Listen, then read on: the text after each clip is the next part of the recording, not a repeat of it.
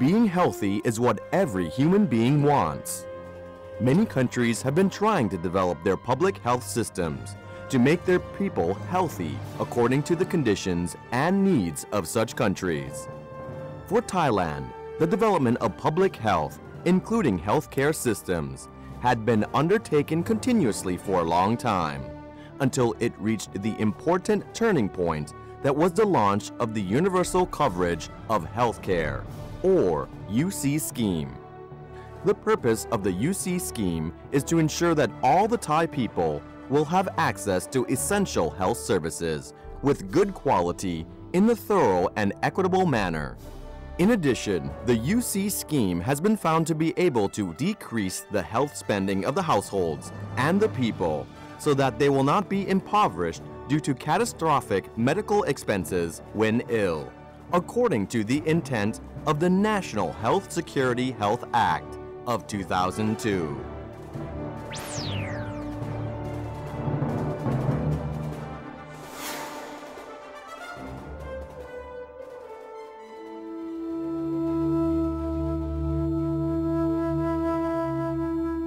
One of the advancements of Thailand's universal coverage of healthcare, or UC scheme, is the expansion of the benefit packages to cover the people's high-cost medical expenses.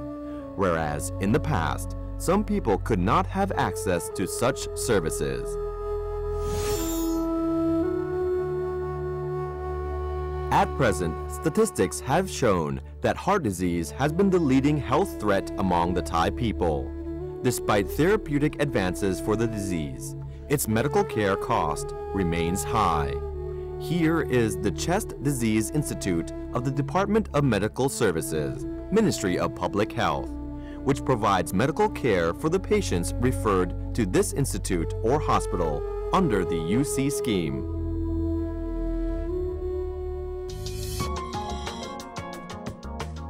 The picture we are seeing is the surgery for enlarging coronary arteries being performed by Dr. Krienkai Heng Rasami, a heart surgery expert. Myocardial infarction is the most prevalent illness among all 30,000 to 40,000 cases of heart disease each year.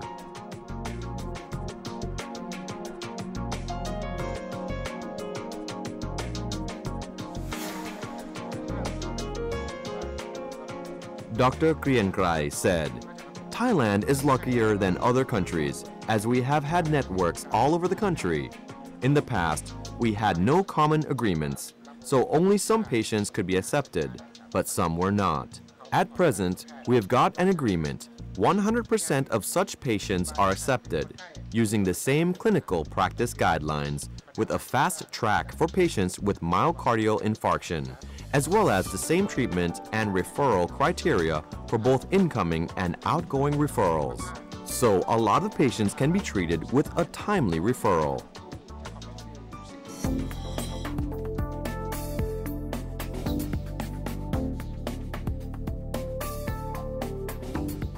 At present, the Chest Disease Institute has established a network for the treatment of patients with ST elevation myocardial infarction STEMI, covering eight provinces in the designated area of the National Health Security Office, Region 4.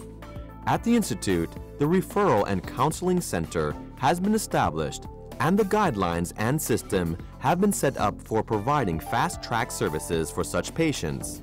The system can decrease a lot of fatalities or complications that might occur and increase the patient's quality of life.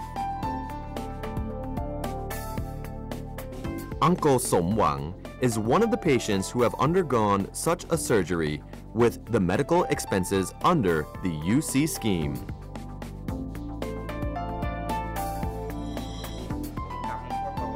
Uncle Somwang said he had never known how heart disease was. He had the symptoms when he was moving some plants during the flood. That was a hard work. He was taken to the Chest Disease Institute and later realized that he was eligible under the UC or Gold Card scheme. He said if he had not been eligible, he would have been in trouble. His entire garden was flooded, and the scheme is a lot helpful.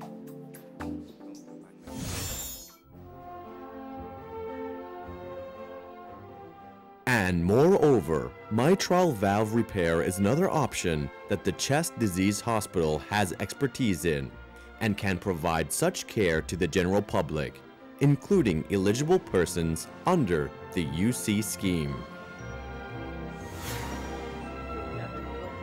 Dr. Tawisak, an expert in mitral valve repair, said, the mitral valve repair that we perform can help the patient to avoid a surgery for cardiac valve replacement. After the surgery, the patient can recover faster without using any thrombolytic drug, which helps decrease complications a great deal and cuts other costs that may arise related to the treatment. According to my experience, a female patient who has undergone the surgery can have a baby.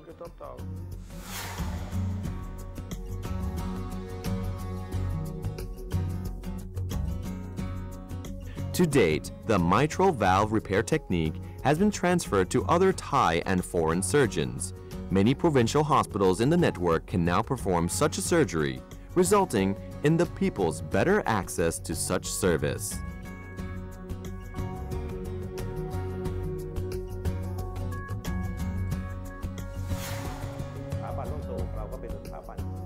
Dr. Sukum, Director, Chest Disease Institute. Treatment of heart disease requires costly high technologies. Before the UC scheme was launched, the government budget only was available and the patient's care had to be partially financed with welfare funds.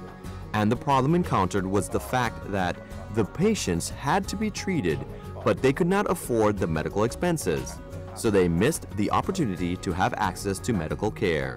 Now, under the UC scheme, the hospital does not need to worry about the patient's medical expenses, so the hospital is comfortable about rationally choosing the treatment methods and the patients can receive the services thoroughly.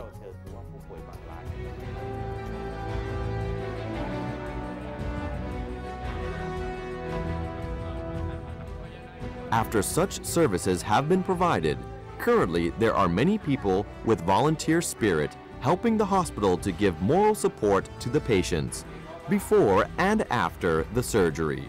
That has helped the patients to become less worrisome and know how to take good care of themselves.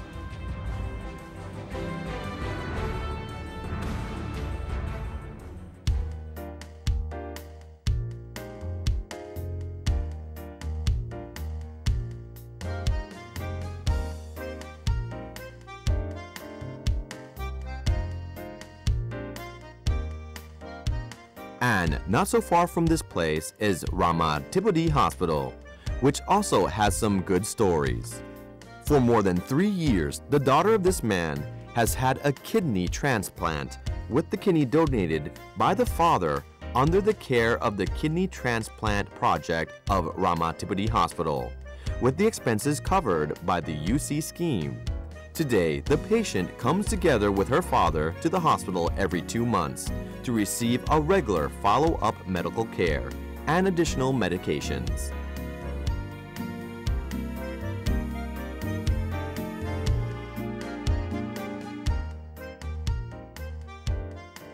Ramathibodi Hospital is actually a medical school of Mahidol University, providing teaching for medical students, as well as medical and health services. One such service is continuous renal replacement therapy for patients with chronic kidney failure. End-stage renal disease is one of the problems in the Thai public health system. Each year, there are a lot of patients with such disease coming in for treatment.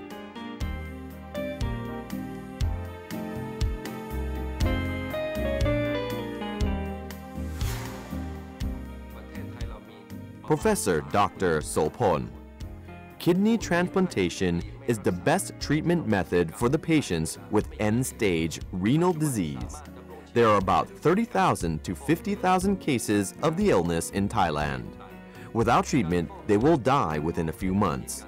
At present, such patients are still alive with hemodialysis, peritoneal dialysis, or kidney transplantation. The first two methods hemodialysis and peritoneal dialysis are supportive treatment to keep the patient alive with a very high cost of medical expenses. The patient's quality of life is not like that for normal people, as there are a lot of limitations. Today, it has been accepted in the world, including Thailand, that kidney transplantation is the best, despite its high cost, in the long run, compared with the other two methods. It is better and more economical.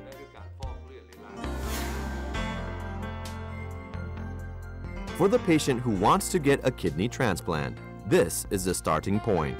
The Coordinating Center for the Organ Transplant Project, coordinating with all relevant agencies in examining the health insurance eligibility, identifying the donor, and coordinating the medical team, and administratively facilitating the surgical procedure. The center also helps minimize the redundancy and gets the patient to the surgical process faster and ensures good care according to the established of surgical and post-surgical standards.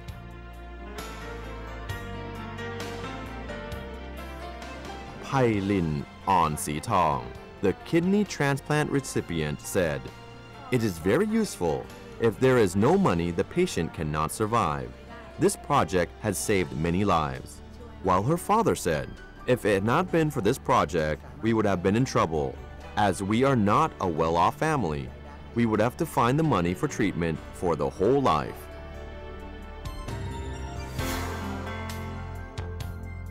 To date, the project has performed kidney transplantation for more than 1,751 cases, of which more than 30 to 40 percent cases are covered by the UC scheme. As a result, the kidney transplant recipients can go back home and live a normal life.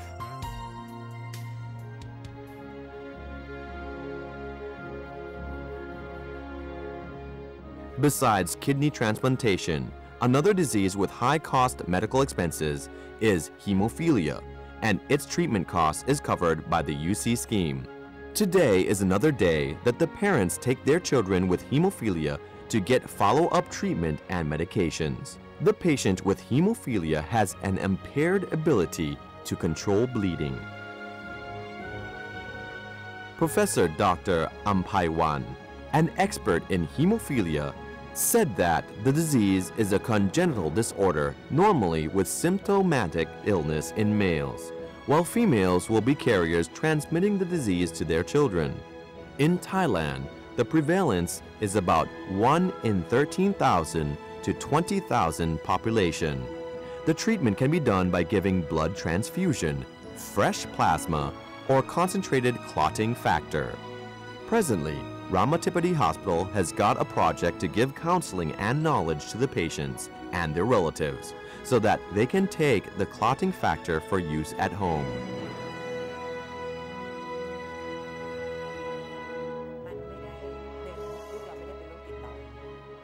Mrs. Latdawan, mother of a hemophilia patient.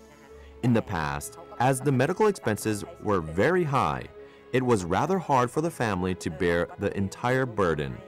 Later on, when Dr. Sanguan, the former Secretary General of the National Health Security Office, as well as Dr. Ampaiwan and Dr. Patraporn, succeeded in getting the disease under the coverage of the UC scheme, my son was registered to get medication at Ramathibodi Hospital.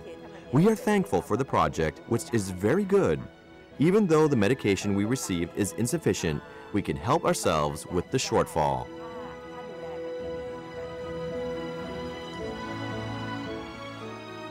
At present, we have formed a club and a network of hemophilia patients and relatives aiming to educate other parents about the care and give moral support to live a better life.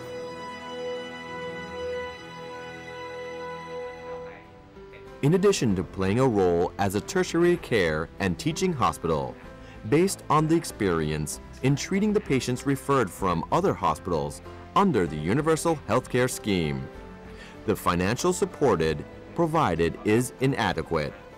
So we have to seek additional funding from other sources of the hospital to cover all the expenses. There has been an effort of the National Health Security Office to try to give us some more money for such cases. Anyway, all are regarded as a joint learning process. And Ramathibodi Hospital will continue to maintain the good quality of care.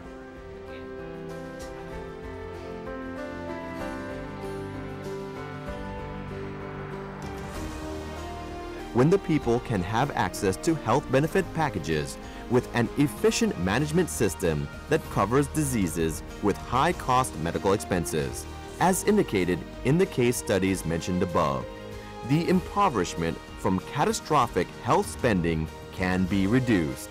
Such a system can also result in a better quality of life of the service recipients under the health security system.